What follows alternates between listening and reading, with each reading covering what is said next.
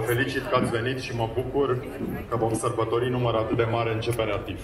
E o revenire la normalitate, cum am declarat și eu și colegii mei, pentru că TIF-ul practic se întoarce la ceea ce era înainte de 2020, o sărbătoare a orașului, o sărbătoare a, a întregii țări și aș îndrăzni să spun, suntem probabil și cel mai mare eveniment care se întâmplă în momentul de față uh, legat de film din întreaga Europa.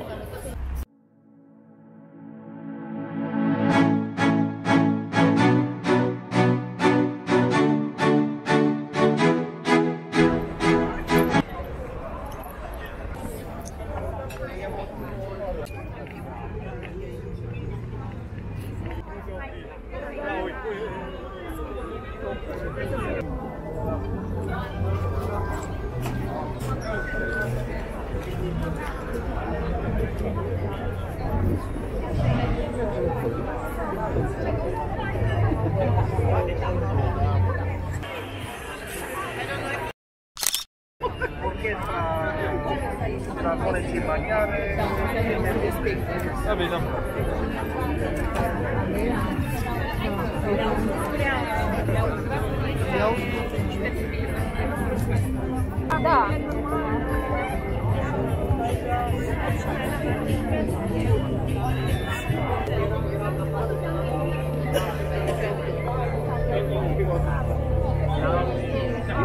E aí, será em?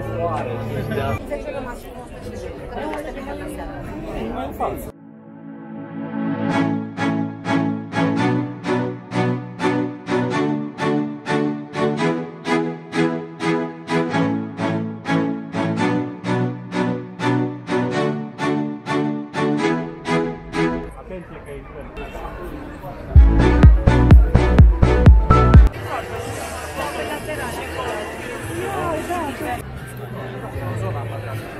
Sărbătorim faptul că Cluj-Napoca a devenit uh, City of Film, a intrat în rețeaua UNESCO a orașelor care au acest specific, cinematografia și pasiunea pentru film e cumva în ADN-ul acestui oraș.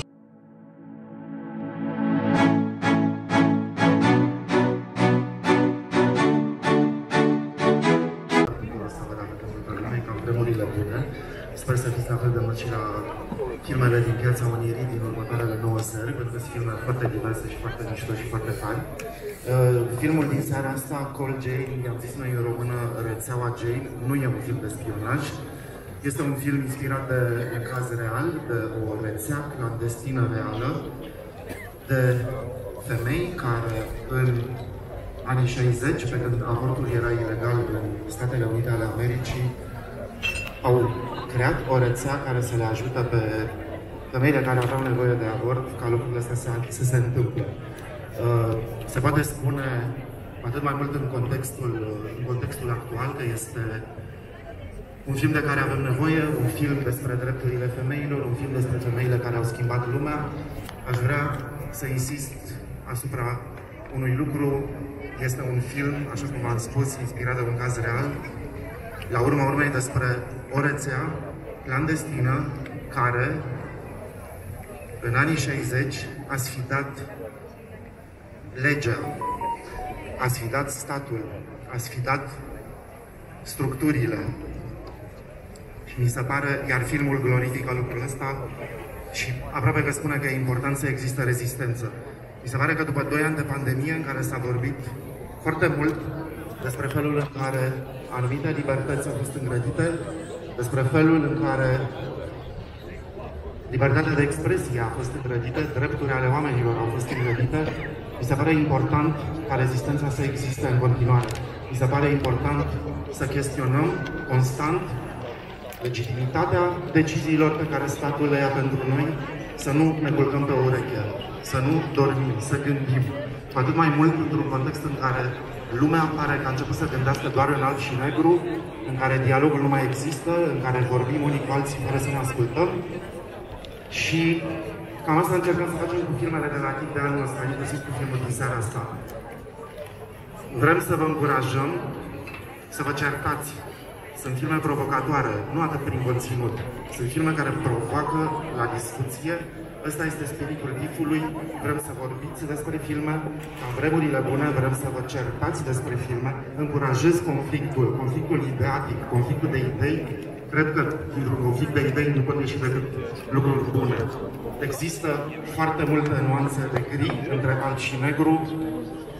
Filmele din DIF-ul ăsta și vreau să mergeți să revedeți filmele din retrospectiva Kieslowski, un maestru al nuanțelor de gri, ale moralei, pentru că și să gândim, să gândim despre ceea ce se întâmplă în realitate prin ce se vede în film. Filmul este o artă democratică, apropo de ce spunea domnul, domnul Boc, da, e important că să trăim într-un context democratic, dar democrația înseamnă și lucrul ăsta, să ne ascultăm unii pe alții, să respectăm dreptul celuilalt de a avea o opinie diferită.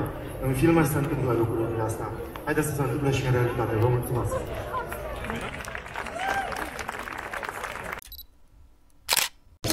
Mare plăcere să invit alături de noi și să-i acordăm o diplomă de excelență pentru toată cariera sa artistică. Doamna Corina Chiriac.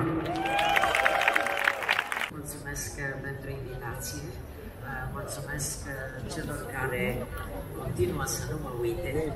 Prezența mea aici, așa cum spune și titlul cărții, este o minune trăită. Și cred că pentru o legendă mă țin încă destul de bine. Aduc aminte că pe vremuri mă lăudam că eram gagica muzicii ușoare românești.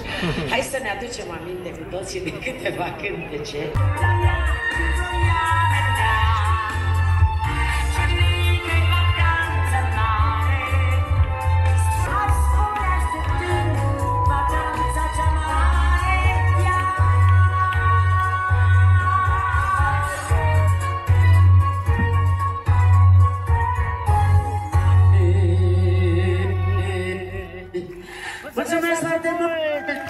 acum dați-mi voie să ajung până în până.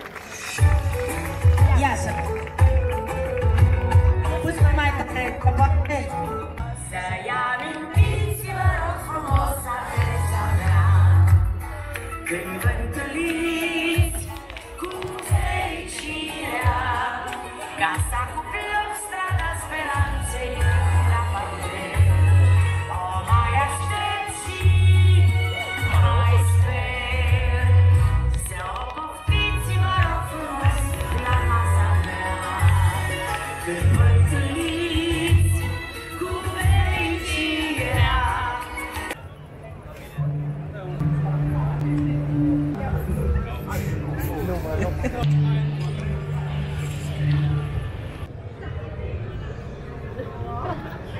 Thank